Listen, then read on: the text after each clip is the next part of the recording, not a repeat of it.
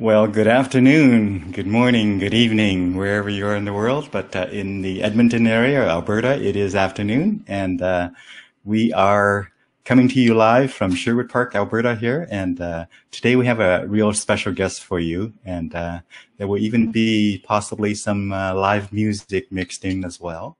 So welcome, welcome to the Conversations with Dune and Friends. And uh, today we have Jenn Durrant joining us.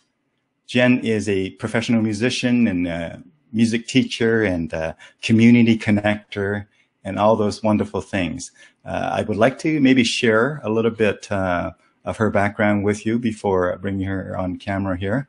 Um, so Jenn Durrant, uh, she developed her love for music by way of uh, dance and figure skating at a very early stage in her life, and uh, learned that you know after hearing people play a dance uh, that she took a real interest in the piano player more so than even the uh, the, the, dance instructor that was uh, doing the work there. So, so really early love for, for piano. And so through her teen, she's been through uh, uh many active school bands, the RCACS. She'll talk a bit more about that, the marching band, uh, you know, school musical and, and she would sing at any event that she could, right? And then later on, uh, moved to, um, went to Vancouver Island University, uh, Powell River, in the Powell River to uh, study voice, classical realms and, and those kinds of things. Uh, it was there that she developed a love for opera and, and art song and, and all those kinds of things. And later on, uh, voice uh, in contemporary and uh, and uh, various things at uh, MacEwan University. And during those years, she continued with her piano study and, and you know took up the guitar and spending many years playing folk and, and roots and various original music and, and, as well as cover, but uh, lots of different things. And uh, I want to maybe bring her on right now, and uh, um, you can tell us about the rest of your teaching as well, then, uh, Jenn. So uh, let me see here. Uh, we're going to uh, bring Jenn on here right away.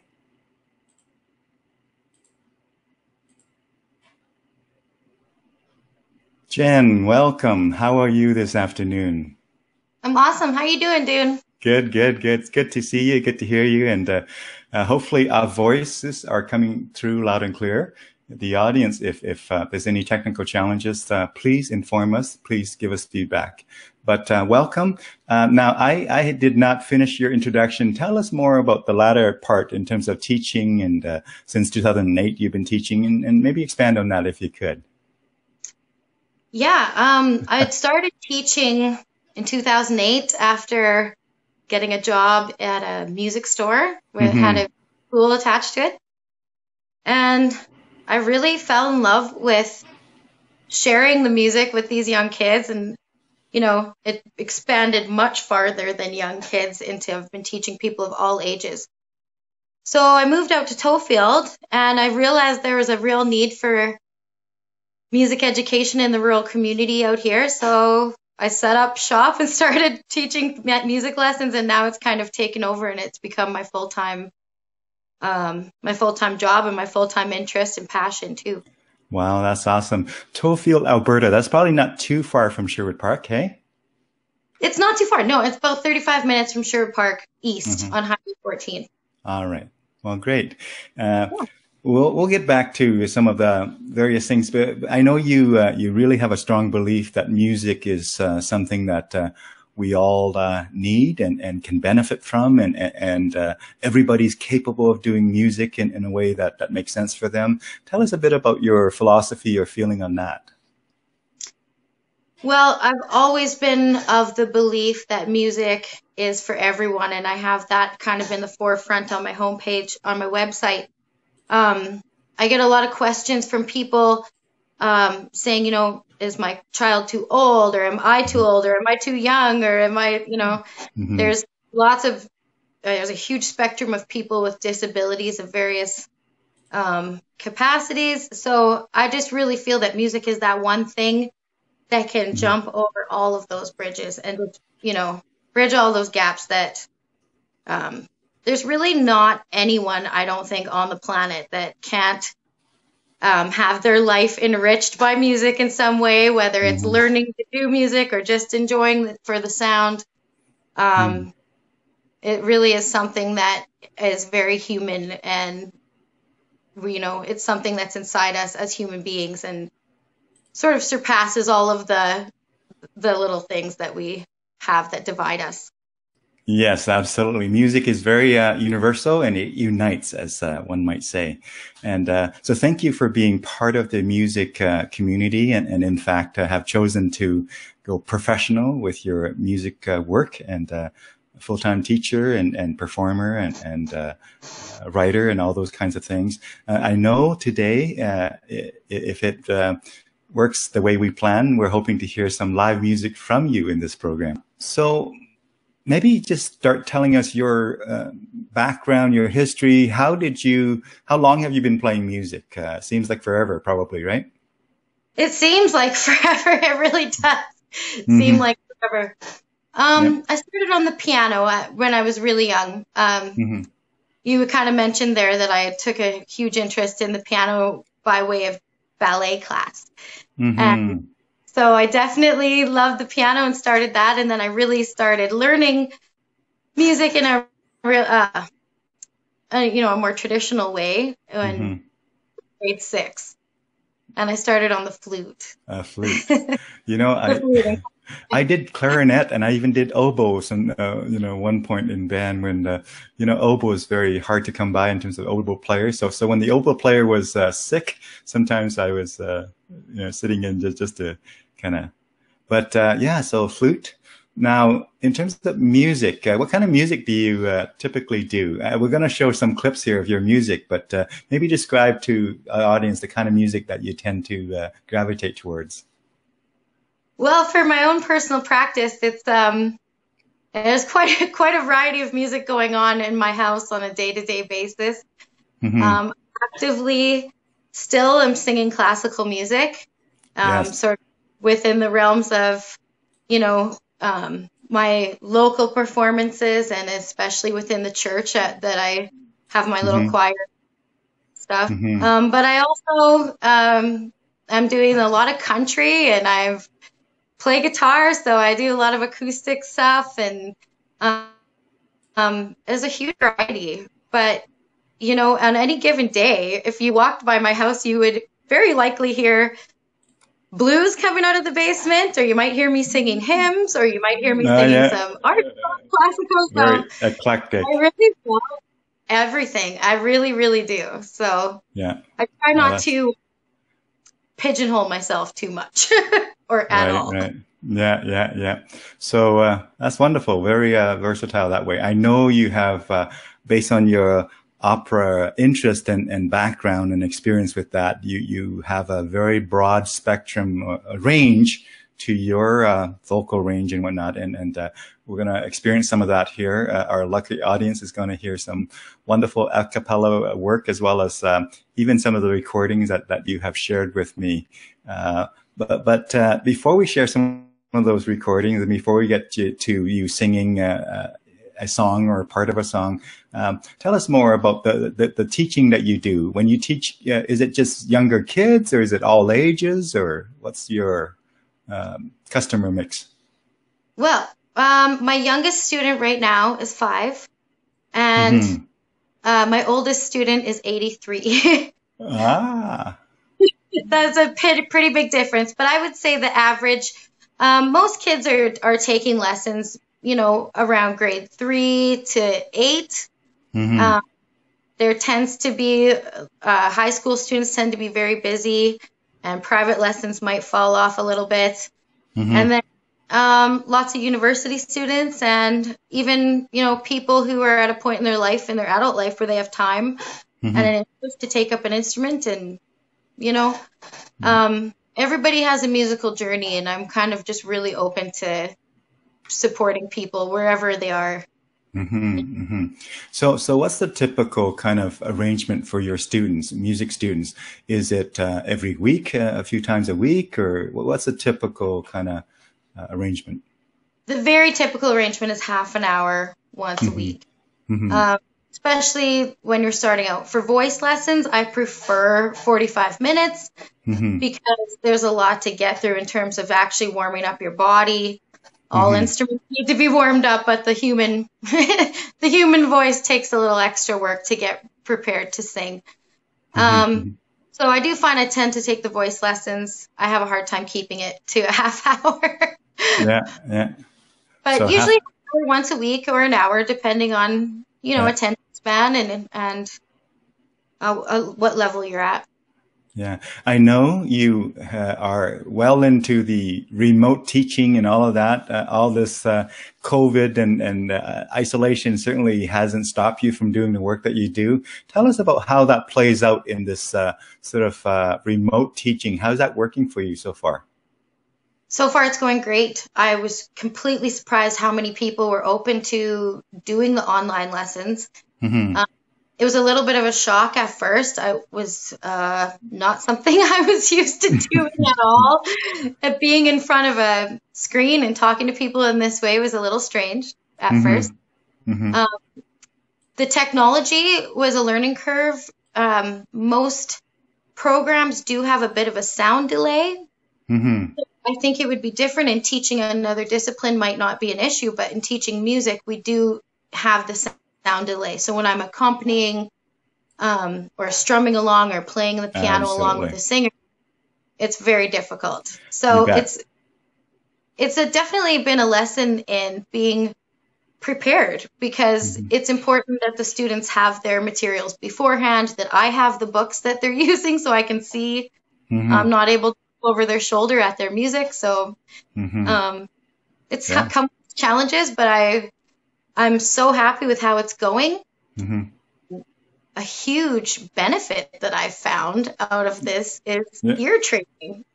Oh, really? Um, yeah, ear training is actually we've been doing more of it than ever, and it's been really fun because it's uh, you know teaching by rote and by ear is sort mm-hmm. of in my opinion has kind of gone by the wayside a little bit mm-hmm, in a lot of mm-hmm. teaching methods that's not you know as mm-hmm. strong thing anymore. So going back to, you know, hear what it sounds like, repeat after me, hear what it sounds like. There's a lot of ear training going on. So this is really great for them. Mm-hmm. Um, mm-hmm. You know, I didn't realize how much I didn't focus on that. So right, right, yeah.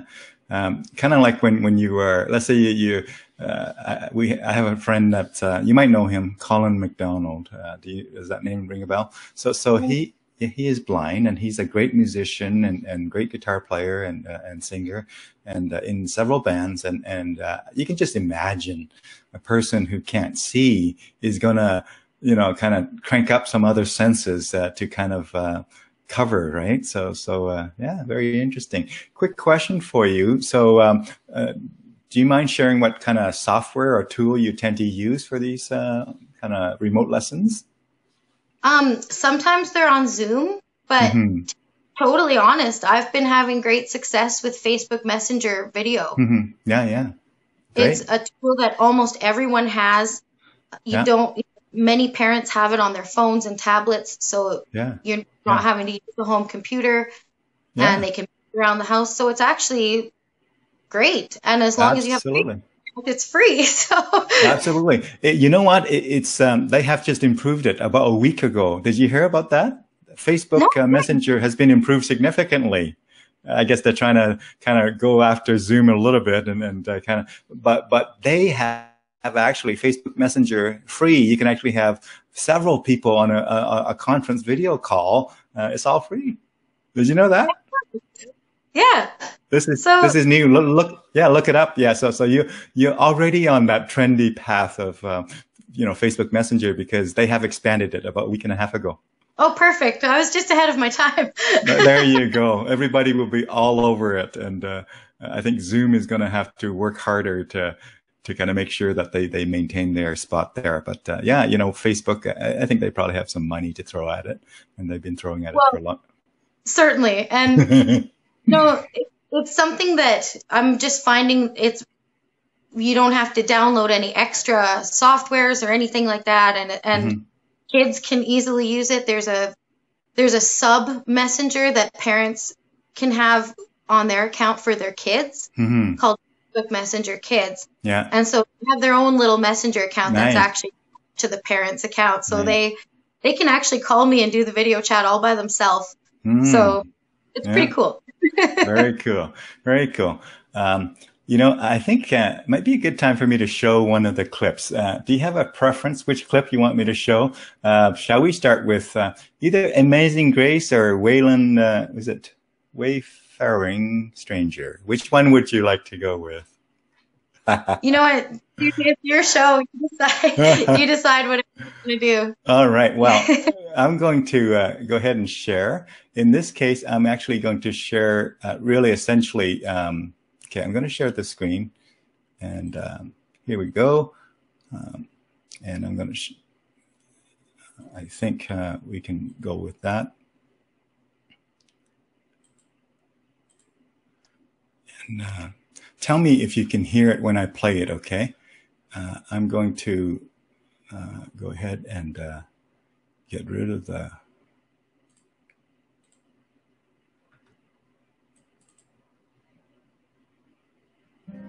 Can you hear it? Can you hear it? I can hear it. I can hear it.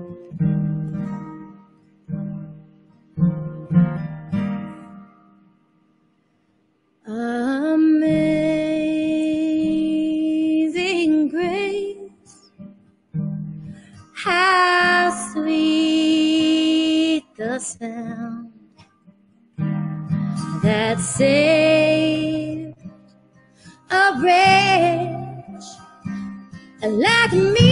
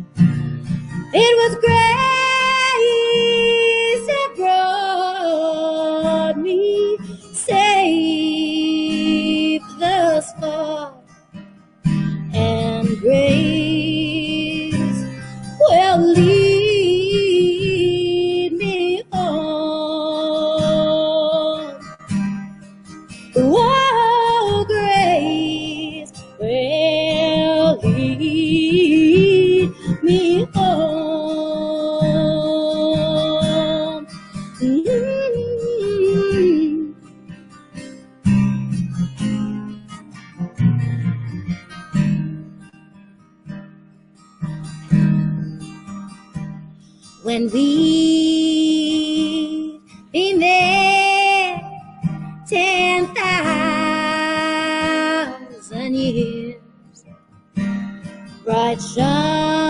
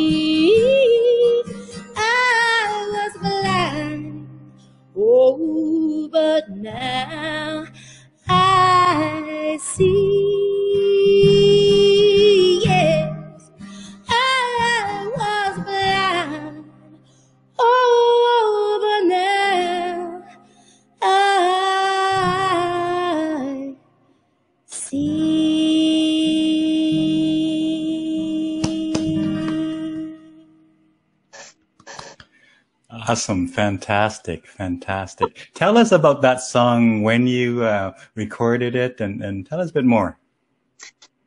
So I recorded that song a few months ago in the fall at Danlin Studios in Sherwood Park. hmm That's um, Dan Cinesac's place over there. Yeah. And um, that particular, I'm I'm working on a full length album over there, but that particular track had was just a off the floor, Oh, really? kind of yeah, sort of a live. I wanted one song on there that was just a very basic.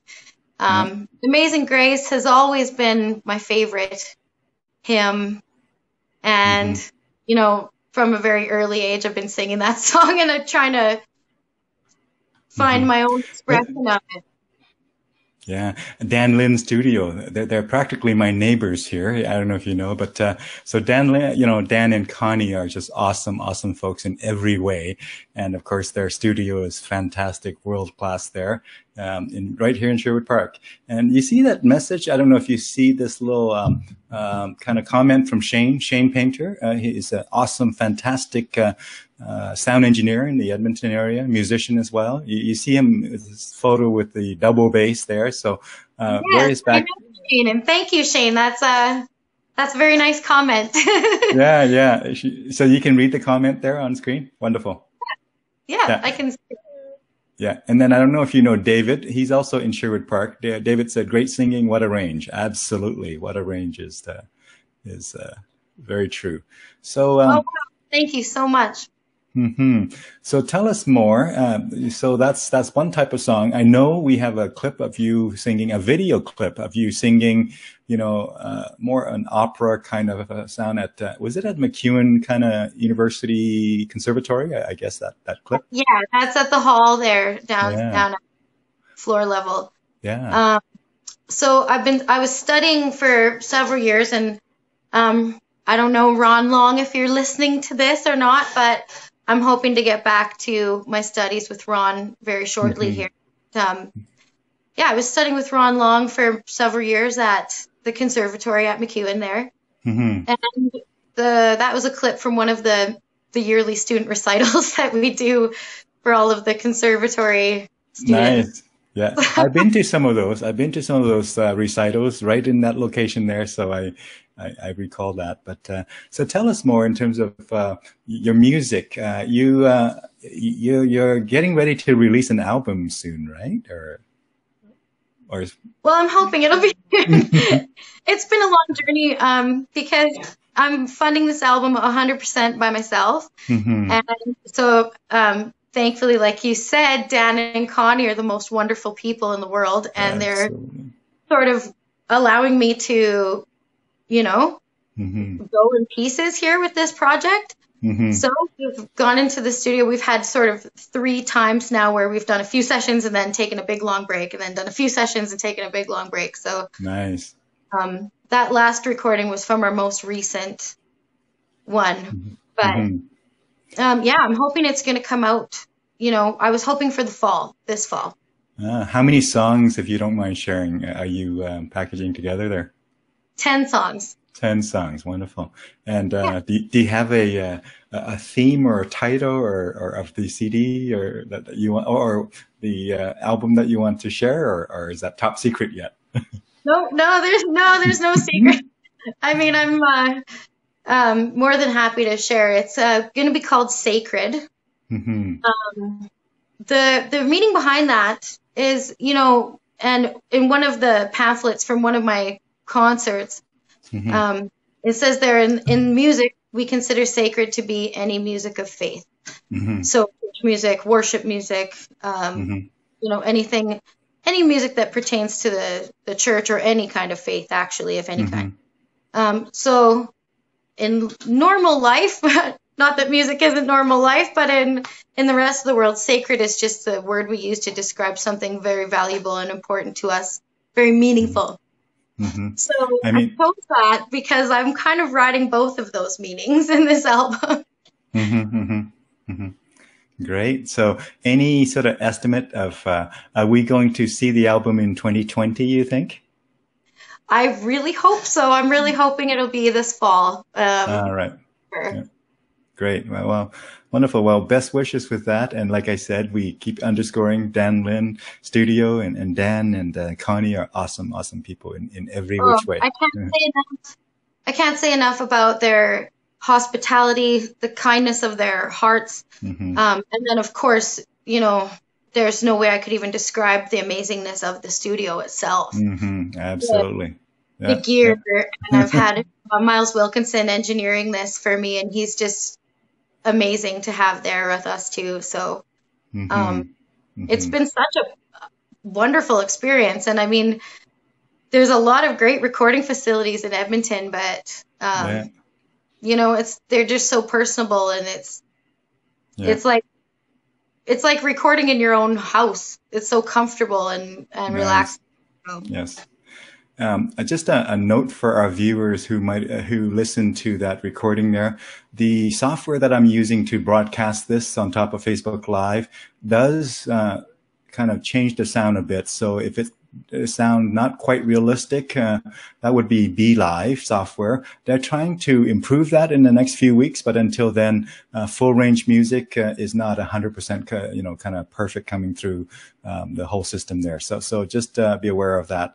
But it's uh, it's passable. You know, you can certainly hear the music. But uh, so tell us more in terms of your um, musical journey and, and your other sort of uh, what's your thoughts on this COVID thing? Is it all all bad? Is there some silver lining? Uh, let's hear from you on this COVID as a entrepreneur who is you know working uh, at home and and uh, kind of making a living at, at this thing. Uh, give us a perspective on COVID.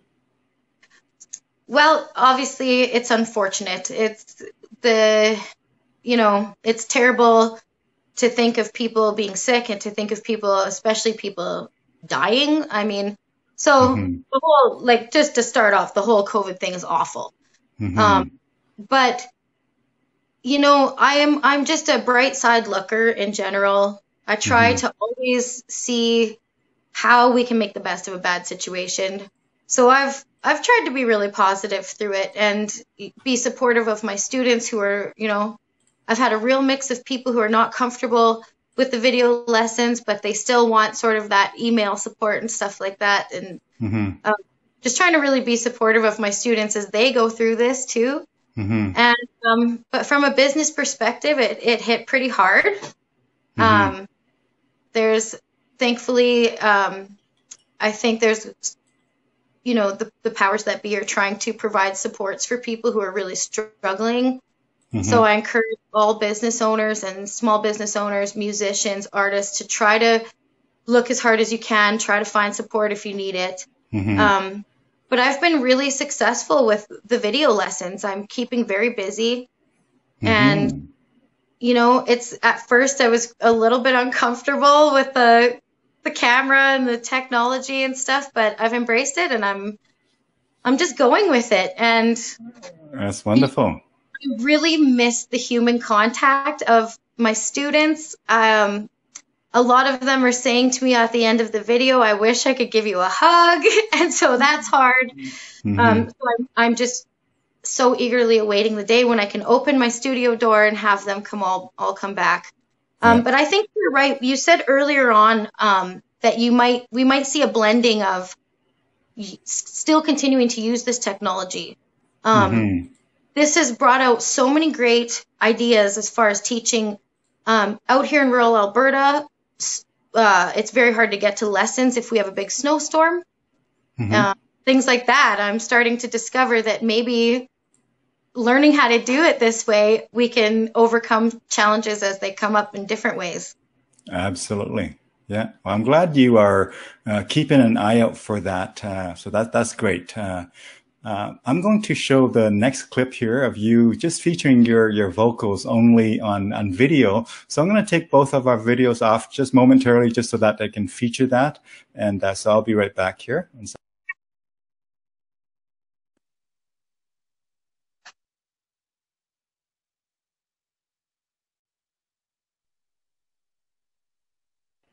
All right, I'm going to start the video and I'm going to be off camera here completely so that you can uh, see the video in larger kind of thing here. So let's just kind of play that here.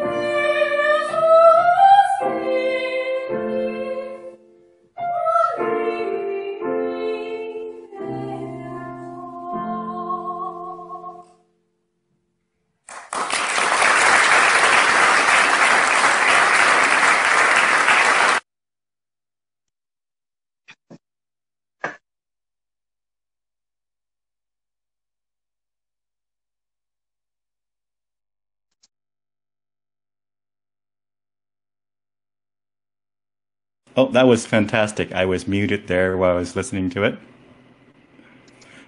So the sound came through okay for you there, Jenn? Yeah, I could hear it. I could definitely hear it. it was great.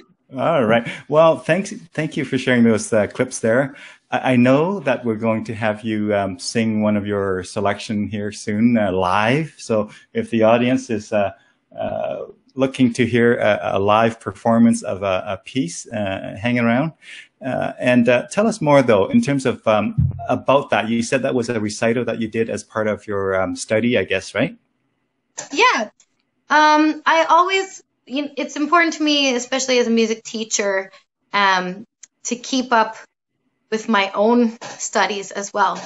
Mm-hmm. So um, I try very hard to always keep myself in some kind of way uh, learning and growing. So mm-hmm. um, I continue to study voice and um, classical voice mostly with Ron Long over there at the conservatory, and mm-hmm. you know we we're always working on something. yeah, yeah, yeah. All right. Well, um, tell us uh, in terms of uh, the audience out there who are thinking about music uh, lessons for their kids or, or themselves or whoever. Uh, what do you want to tell them about that whole um, music lessons in, in these days? Uh, anything to share that uh, might encourage somebody who might be on the fence about taking music lessons?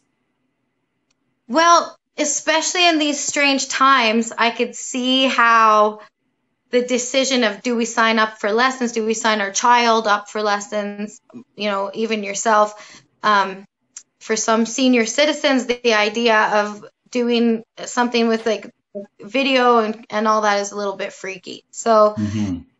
to make the decision to, to to do video lessons, you have to decide: Are you okay with the technology? Are you okay um, do it with a little bit of a delay where you know we have to kind of slow the conversation down i'm going to sing this to you you sing it back to me kind of thing mm-hmm. um, to take music lessons in general mm-hmm. most music teachers are of the mind that they want you to want to be there so you know it, I think it's a great idea to call up a music school in your area or call me mm-hmm. if you're in the Tofield area and um, you know, sign up for a couple of lessons. It's never has to be a lifelong commitment. Um, mm-hmm. It's no harm to bring your kids, get them to try it out. Mm-hmm. Some of the bigger centers have rental options for instruments. That's often a a question I get a lot. Do I need a guitar? Do I need to own a piano? Do I need to own mm-hmm. an instrument? Um, mm-hmm. and no, you yeah. totally don't. Um, yeah. I have quite a few lender instruments that I lend out, and I have um, I know L and M and lots of the big places have great rental prices mm-hmm. and facilities. Mm-hmm. Yeah. So I wonder if you are uh, ready to uh, to delight us with a live rendition of. Uh, maybe even a surprise to me because uh, we haven't even discussed what you might be singing. But uh, are you ready to go? Yeah. I think so. I mean, okay. Yeah, I, always love to yeah, sing. Wonderful. Well, so imagine the audience out there is just cheering for you. They've seen you before, they've heard you before, they saw the audio clip, they saw the video clip, and now for the big event of live over some technology that uh, we hope will uh, hold up while we do this. But I'm going to be just uh, in the corner here watching and cheering you on. So take us uh, through that song. Uh, any introduction that you like to kind of provide is, is awesome. Sure. Okay, so I I'm gonna sing a song that is uh, I thought it would be a great choice for singing a cappella. Um, I often sing this song a cappella anyway. Um, it's one of my favorite hymns, and it's a very old gospel spiritual. I've heard uh, many renditions of this, and it also is going to be on my album mm. featuring members of the Ardrossan United Church Choir. So mm-hmm. um, it's called over my head. Here we go. Over my head, I hear music in the air. Over my head, I hear music in the air over my head. I hear music in the air. There must be a God somewhere. When the storms of life are raging, I hear music in the air. When the storms of life are raging, I hear music in the air. When the storms of life are raging, I hear music in the air. Well, there must be a God somewhere over my head. I hear music in the air over my head. I hear music in the air over my head. I hear music in the air. There must be a God somewhere. There must be a God somewhere.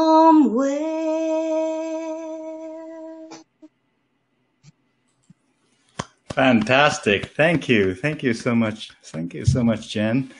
Um, as we uh, round the uh, corner here to kind of uh, towards the end of the conversation here in the time that uh, we have booked, uh, hopefully you uh, have some flexibility. Uh, you don't have a, a a music session right at one, uh, do you? No, Today? not at right, not right at one o'clock. Okay, I just want to be mindful because if you do, uh, we'll cut it well before then. But uh, if you, since you don't have a, a other commitment here, if you uh, want to take us a little bit further beyond the allotted time, uh, you're welcome to.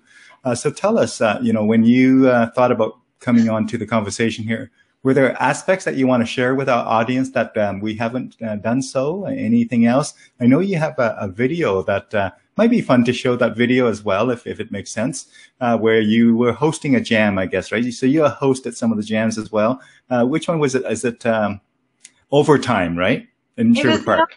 Yeah, Yeah, yeah. So I, I've seen I've seen you in that environment. Yeah. yeah, that's uh, actually where we met, Dune.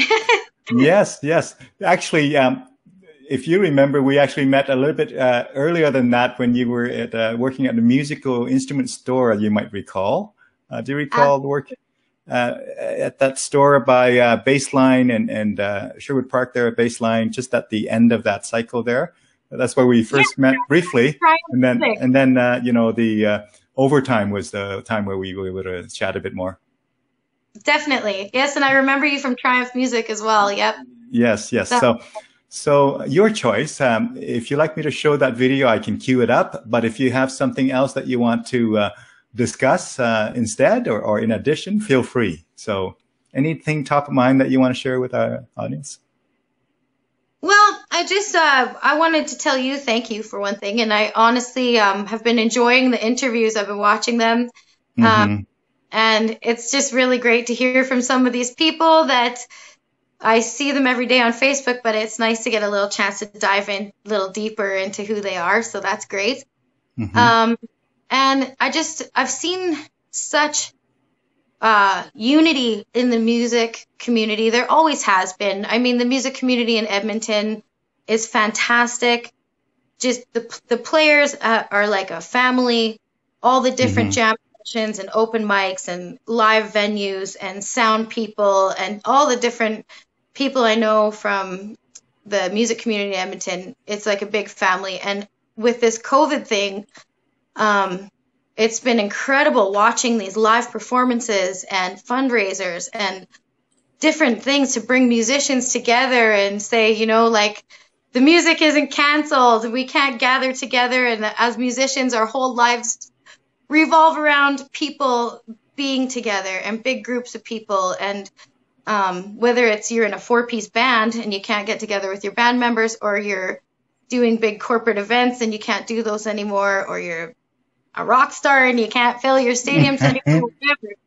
Um, it's, it's it's been a big change for all of us, and hmm the positivity and unity that I've seen in the music community is just very heartwarming.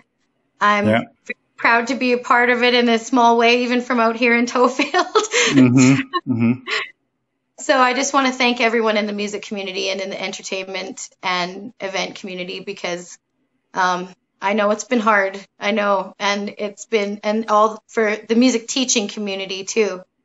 It's been Mhm. rough. And um, uh, if any music teachers out there um, want to get together and talk about things that have worked for them or ask me about what's working for me, I'm totally available on my Facebook page and all my social medias and email, whatever Mhm. you want. So, Yeah. Hey, I, I just found this uh, post that you uh, post from memories from uh, when we met over at uh, overtime there. I just wanted to uh, flash it up.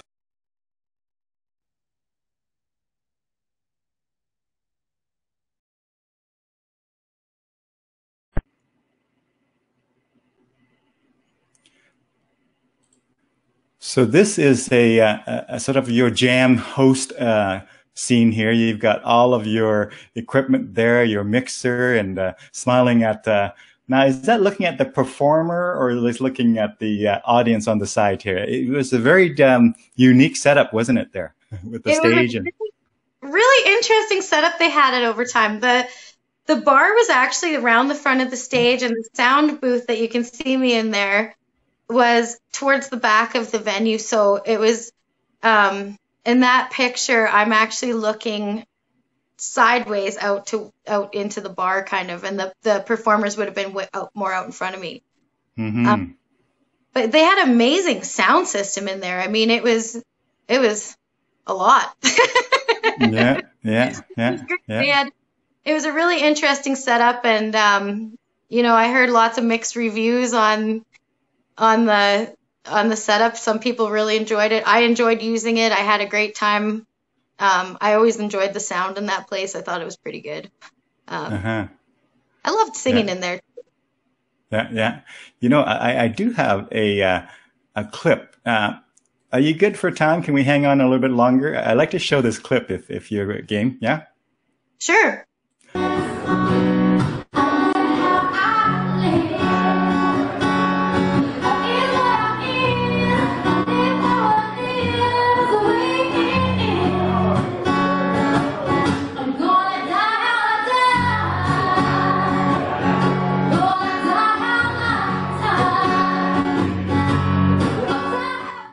So as we kind of wrap up here, Jenn, uh, any sort of final thoughts to share with uh, the folks out there uh, with respect to uh, whether it's music, whether it's community, whether it's uh, coping with uh, the strange times that we're in?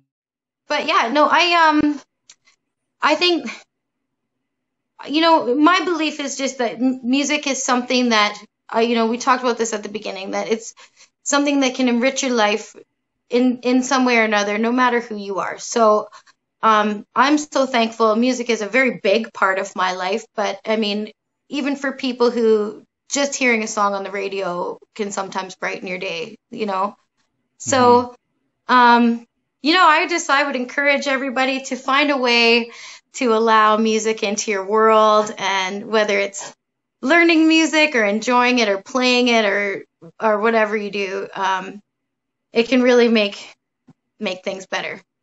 Um, and I just so much love to all the all the members of the Edmonton community and also the world music community because Mhm. artists all over the world have really stepped up and banded together and um, that's what music does it Mhm. just rises above everything else so All right. Well, on that note, I'd like to thank you for uh, taking the time to join us here on this uh, fine afternoon. It's nice and sunny. Uh, I'm sure out in Tofield it's uh, uh, an afternoon that you could very much enjoy walking outside for your lunch break. And uh, appreciate that you took the time to join us with this. And thank you so much, Jenn. Okay. Um, my website is it's my music stuff. It's I'm just trying to, it's Miss Jenn. So M I S S J E N N dot mymusicstaff.com. Wonderful. So thank you for that. And uh, the place that you probably spend more time on is the uh, the Facebook page, uh, Facebook page uh, called uh, Jennifer Durrant uh, Music. And yes. so, yeah, thank you so much again for taking the time to join us. And have a wonderful rest of your day, Jenn. Thanks. You too, Dune. It was great talking to you. And I hope to you talk bet. to you again soon. You bet. Thanks. Stay- Bye. Bye. Well, I apologize for that um, technical difficulty there with the, the delayed sound there uh, at the end. Uh, we'll uh, we'll improve here as uh, as I continue to uh, uh, kind of get used to this everything here. That's all the flying kind of components, all the moving component, moving parts.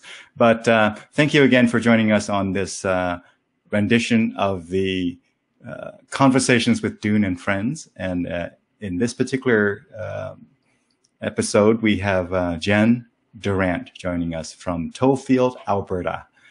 Have a great rest of your day and uh, take care of yourself and take care of one another. And till we see you again. Thanks.